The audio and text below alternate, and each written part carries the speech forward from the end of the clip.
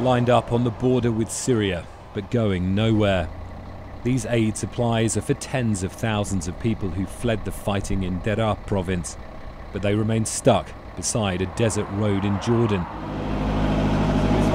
Ibrahim has a lorry full of food. The engine runs day and night, keeping it cool. He is Syrian. He left Deraa with his family in 2014. Nobody knows what's going to happen, whether we will go in or not. I feel optimistic. I haven't seen my relatives in four years. Just a few dozen Syrian refugees remain at the border with Jordan. This mother of four suffered a scorpion bite in the desert. She told me she'd travelled for three days to escape the fighting. But thousands of displaced people who were here have returned to Deraa.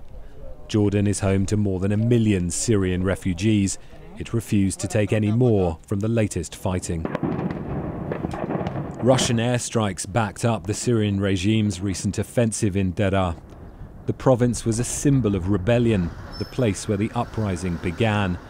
The UN says the latest fighting has left tens of thousands of people in desperate need of shelter, food, and clean water. What we are appealing for from the different parties fighting on the ground is that we need unimpeded, sustained access, a lull in the fighting so that we can get to these people with as much assistance as possible. The Syrian regime has been back in control of most of Deraa since last week. Cross border aid has since been unable to go in. Jordanian troops took us to their closed border crossing with the province, a bustling trade route years ago but the tourists are long gone and the duty free shops shuttered.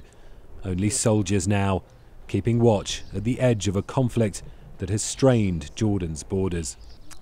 Well, from here you get a real sense of how the landscape has changed in Syria's war.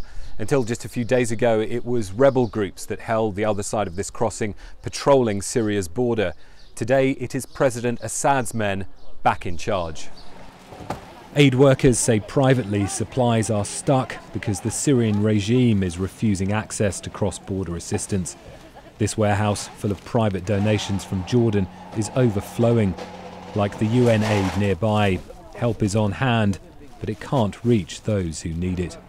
Tom Bateman, BBC News, Ramtha on the Jordan Syria border.